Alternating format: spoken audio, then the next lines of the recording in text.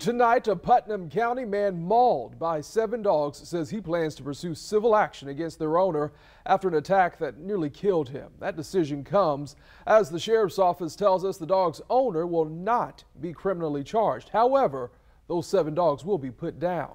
We'll explain why in a moment. On your side's Robert Bradfield continues his reporting on this case, talking with a canine aggression expert about ways to protect yourself against a similar threat, Robert. Yes, he says a $10 tool could be a lifesaver and suggests having pepper spray with you on any runs or walks in your neighborhood. The victim, meantime, in this case, tells me he does not blame the dogs, but their owner. Ruben Josey knows he has a long road to recovery, receiving these injuries while trying to save his dog from an attack by a group of pit bull mixes in a Satsuma neighborhood.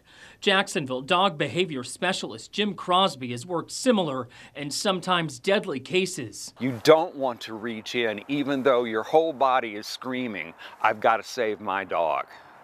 Instead, you can wind up, and I've worked far too many human fatalities from exactly that happening. He suggests trying to create a barrier between you and the dogs, like Josey's friend who was with him did, using a metal broom to finally get the dogs to let go of their grip.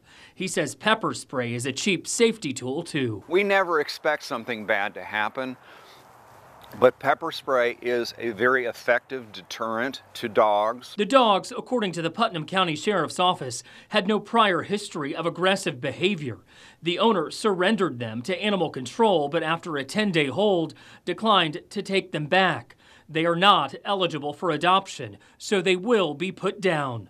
Crosby says the state of Florida allows owners, in some cases, to regain custody, but there are costly regulations. He would, for all seven of the dogs, have to have a secure containment built.